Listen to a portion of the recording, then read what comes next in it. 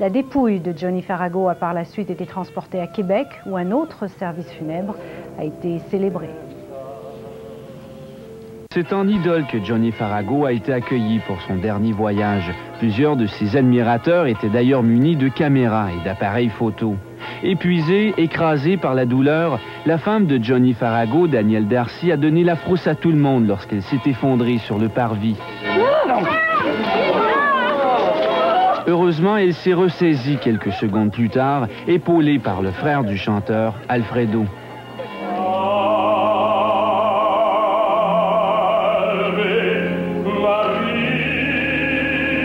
C'est dans une église bondée et surchauffée que les funérailles de Johnny Farago ont été célébrées.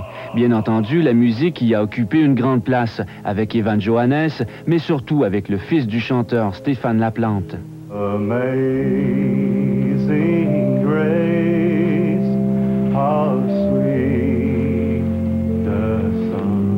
À la sortie de l'église, plusieurs artistes ont tenu à témoigner leur amitié pour le défunt. C'est le frère que j'avais pas.